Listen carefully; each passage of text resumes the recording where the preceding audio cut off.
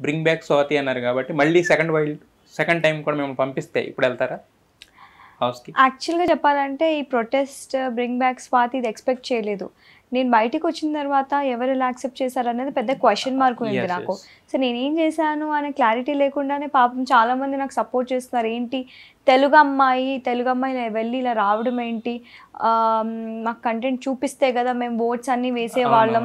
తను ఏం చేసిందో ఏంటో అనేది నా ప్రీవియస్ ఇంటర్వ్యూస్ చూసి కూడా వాళ్ళందరూ దట్ వన్ వీక్లో ఏం జడ్జ్ చేయలేము ఎందుకంటే మీరు చూస్తే మనం. First two episode two weeks చూస్తే అసలు బిగ్ బాస్ షోనే ఈసారి చాలా ఒక రేంజ్ అనే రేంజ్లో ట్రోల్స్ వచ్చినాయి కానీ తర్వాత పార్టిసిపెంట్స్ అందరూ మళ్ళీ వాళ్ళ ఎవరైతే ఉన్నారో బయట పెట్టారు. అవకాశం ఉంటే వన్ వీక్ మనం ఏమైనా చూపించుకోవడానికి ఉండేది కదా. అవును that's true that's true so ఇంకా ఒక ఎవరి ఒపీనియన్స్ వాళ్ళకు ఉంటాయి ఎవరి ఫేవరెట్స్ వాళ్ళు. డిసైడ్ అయిపోతారు కాబట్టి నేను వెళ్ళి ప్రేక్షకులకి ఆడియన్స్కి తెలిసే లాగా ఉండాలి కంటెంట్ కూడా. అండ్ వాళ్ళకి తెలియకుండానే నాకు బ్రింగ్ బ్రింగ్ బ్యాక్ స్వాతి అని బికాస్ వాళ్ళు కూడా షాక్ అయ్యారు.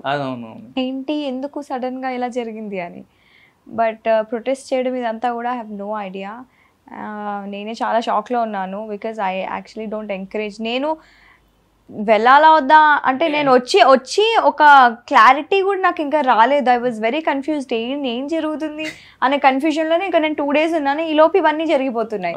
సో నాకు అసలు I have no idea about it and I have no links with anyone but support వస్తుంది అంటే it's a good thing actually that that means audience expect చేశారు. They. Wanted to see something they believed in me maybe చూసారు previous movies చూసుంటారు కాబట్టి.